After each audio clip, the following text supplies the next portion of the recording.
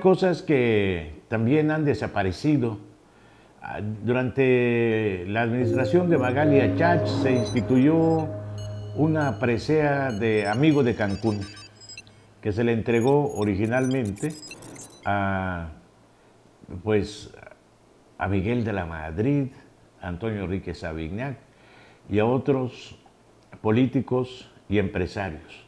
Se instituyó, por acuerdo del Cabildo, la presea Amigo de Cancún, precisamente para premiar, para reconocer a las personas que desde el gobierno federal o desde la iniciativa privada apoyaron la consolidación, la proyección de esta ciudad.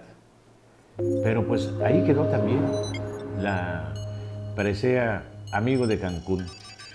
Luego se instituyó la medalla Cancún, que también se entregó por una sola vez.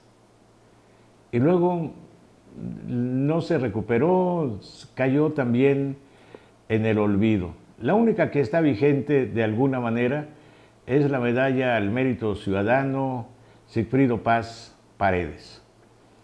Pero se le entrega a los cuates, no a las personas que realmente lo merecen.